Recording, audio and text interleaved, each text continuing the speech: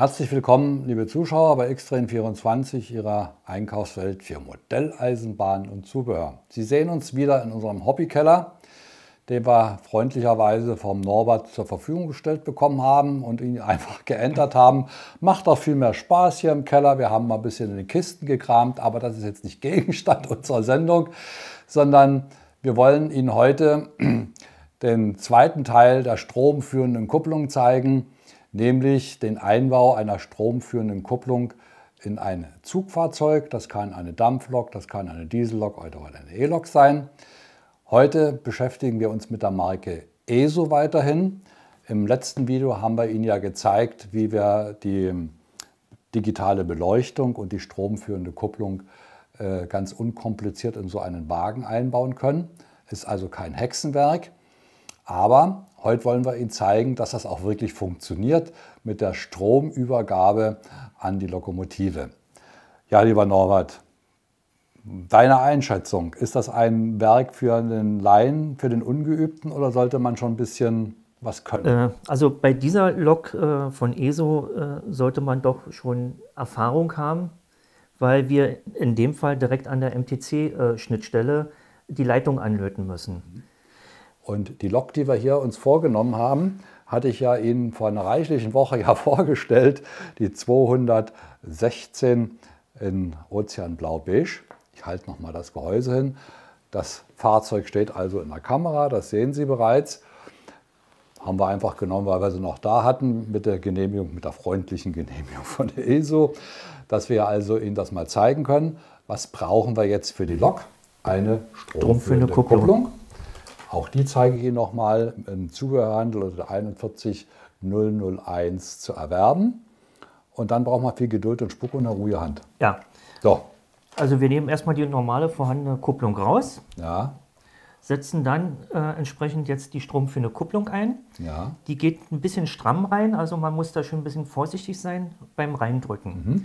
So, als nächster Schritt ist dann die beiden Leitungen oder Litzen äh, vorne durch das Gehäuse durchzufädeln. Aha. Ja. Und da sollte man wiederum darauf achten, dass die Kupplung beweglich bleibt, dass die, also die einmal Litze, die Kupplung, die nicht einmal die, die, Kupplung beweglich bleibt, aber auch das Drehgestell, ja. dass das nicht verhakt. Gut. Aber das sieht man ja, da lässt man ein bisschen Bogen. Du hast es ja schon. Ich habe hier eine Schlaufe gelassen, dass Bewegungsfreiheit genau. ist. Genau. Äh, so, jetzt kommt nämlich das äh, etwas Problematische. Wir müssen jetzt an den Pins äh, 22 und 21 unten die beiden Litzen anlöten. Mhm. Und da die sehr eng sind, äh, zusammensitzen, muss man natürlich da sehr aufpassen, dass man keinen kurzschlüssig reinlötet. Mhm. Weil dann kann man eventuell im schlimmsten Fall sich die Lok kaputt machen. Aua. Oder den Decoder. Aua. In dem Fall. Also, es sollte wirklich jemand in die Hand nehmen, der sich dann ein bisschen damit auskennt. Ja. Oder, oder er schickt die Lok zu uns, wir machen das natürlich auch, ganz klar. Mhm.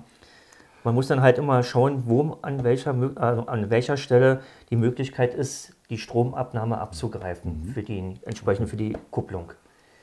Es gibt natürlich einfache Loks, da ist es dann äh, bei rein analogen Loks, wo man auch eine stromführende Kupplung die sich dann eventuell einbauen will. Mhm. Da ist es teilweise relativ einfach, da kann auch ein, sagen wir, kann man sagen, ungeübter das auch machen. Das kann nicht so viel kaputt gehen, da, aber bei so einem elektronischen Teil sollte man schon ein bisschen Da muss man schon aufpassen. So, dann wollen wir natürlich auch die Funktionsprobe machen. Norbert hat also gesagt, wo er die Punkte angelötet hat. Man sieht es auch hier nochmal im Bild. Ja, das sind also diese beiden äh, Punkte, die du gefunden hast aus der Bedienungsanleitung. Aus der Bedienungsanleitung vom, Log, äh, vom Log, äh, Sounddecoder. Vom Sounddecoder. Hm. So, und habe sie entsprechend dort jetzt angelötet. Den ja. Decoder lasse ich jetzt draußen, weil für die Funktion, dass es tatsächlich auch funktioniert, brauchen wir den Decoder jetzt nicht. Richtig. So, nun wollen wir natürlich auch sehen, dass es funktioniert. Genau.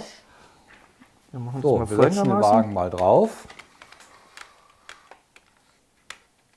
Also wie gesagt nochmal, ähm, Sie brauchen nur diesen stromführende Kupplung aus mit der Artikelnummer 41001, schieben die in den Schacht ein und jetzt kommt der Hinweis für Geübte, die können das machen, die können also anhand der Belegung der, des Decoders äh, finden, wo sie das ansetzen müssen. Genau. Wenn Sie sich nicht zutrauen, Sie aber sowas haben möchten, können wir Ihnen das mal anbieten, liebe Freunde.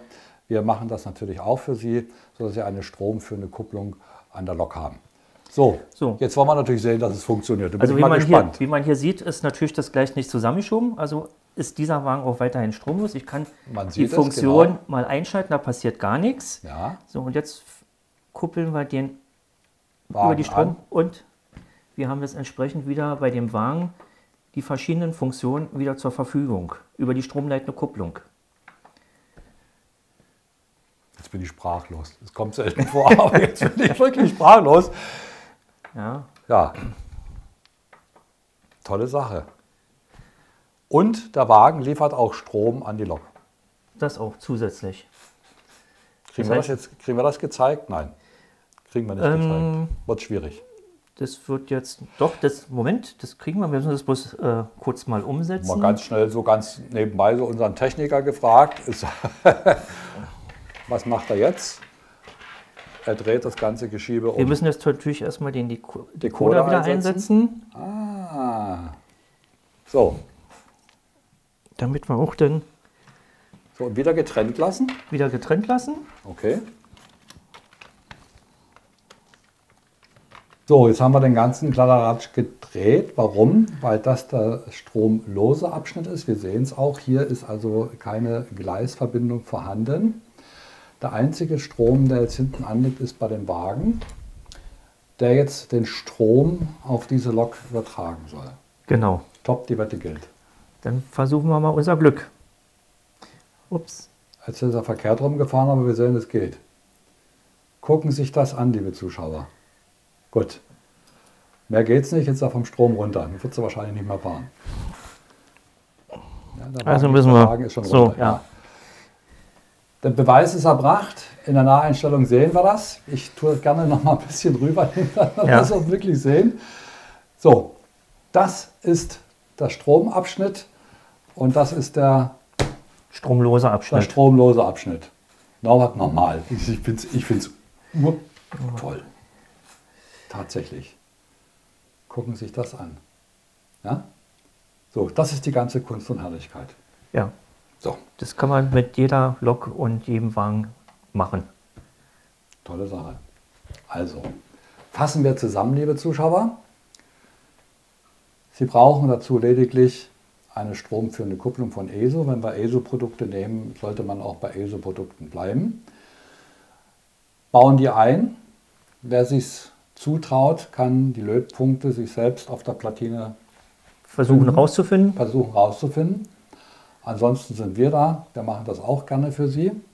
Und der Beweis ist erbracht, dass der Wagen, wir sehen auch hier wirklich, hier ist eine Lücke dazwischen, das hängt also nicht zusammen, wir ulten hier nicht rum. Der, wir können aber auch mal die Kupplung trennen, so. Und sehen, ist das Licht gerade verloschen an der Lok und die Sache ist so in Ordnung. Das ist die ganze Kunst und Herrlichkeit. Was für geübte Leute, die sich ein bisschen auskennen, können das durchaus schaffen. Für die Anfänger, die sagen, äh, ist nicht so gut, machen wir gerne für sie.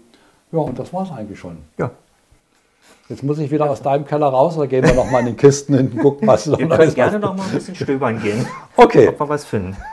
ich bedanke mich für Ihr Interesse, liebe Zuschauer. Ich hoffe, wir haben Ihnen ein paar Anregungen und auch ein paar wichtige Sachen mit auf den Weg geben können.